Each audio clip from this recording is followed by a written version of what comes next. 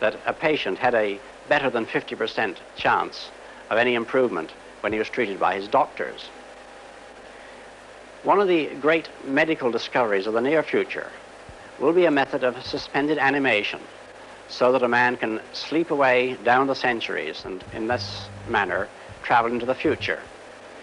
This technique, which may possibly be based on deep freezing, will one day be used to send into the future people suffering from diseases or ailments beyond the ability of present day medical science to cure. Though I don't really know how one will calculate the health insurance contributions to pay for medical treatment 500 years hence. Another use of suspended animation will be for the long-range exploration of space. In this way, us short-lived creatures will be able to travel enormous distances, although we may not, of course, be so short-lived in the future, because even immortality may be on the cards one day. However, even without immortality, we may be able to make journeys lasting thousands of years, and such journeys will be necessary if we ever wish, wish to cross the enormous gulfs which separate from us from the stars. Distance is so great that even light, traveling at 600 million miles every hour, takes years to cross them. But why should we attempt these immense voyages? Well, because it seems fairly certain that, at least at this moment in time, there are no other intelligent creatures in our own solar system. We'll have to go out to the stars to, to meet them. For certainly out there among the 100,000 million other suns of our universe, there must be many civilizations, perhaps far higher than our own. The first contact with intelligent extraterrestrials will be the greatest adventure in the future of man. It may not happen for centuries, but one day it will come. Meanwhile, near at home, there's plenty to do in this solar system on the moon and planets. Today, we can just reach the moon. Tomorrow, men will be living there. A hundred years from now, some men will call it home. At the moment, it's a very unattractive kind of place to imagine as a home, and this is true of all the planets. There's not one on which unprotected men could live, or on which any form of life as we know it could exist, with the possible exception of Mars. However, a hundred years from now, things will be very different.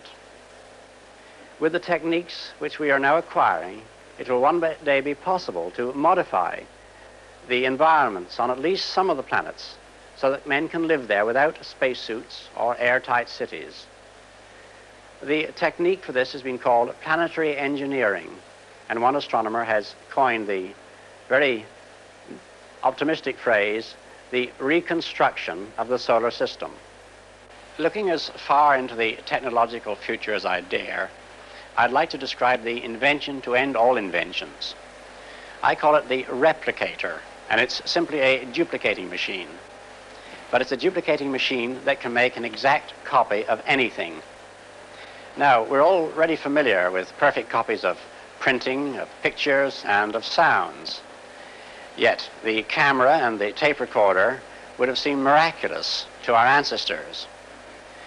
And uh, to a medieval monk, who perhaps in his whole life only saw a few dozen books, each one patiently copied by hand, our present world, in which literally millions of books exist, would again have seemed absolutely inconceivable. Can we imagine a world in which objects can be made as easily as today we can make books? Well, don't ask me exactly how the replicator would work. If I knew, I'd patent it at once. Confronted with such a device, our present society would probably sink into a kind of gluttonous barbarism because everybody would want unlimited quantities of everything since nothing would cost anything. In fact, cynics may doubt if any human society could survive an invention which would lead to unlimited abundance and the final ending of the curse of Adam. And yet, you know, human beings are almost infinitely adaptable. Look at the incredible changes we've experienced and survived from the Stone Age to the present time. And yet even greater changes are still to come because the future is not merely an extension of the present with bigger and better machines and cities and gadgets.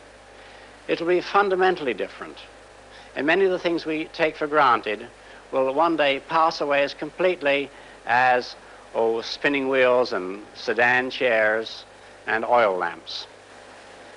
And that is why the future is so endlessly fascinating, because try as we can, we'll never outguess it.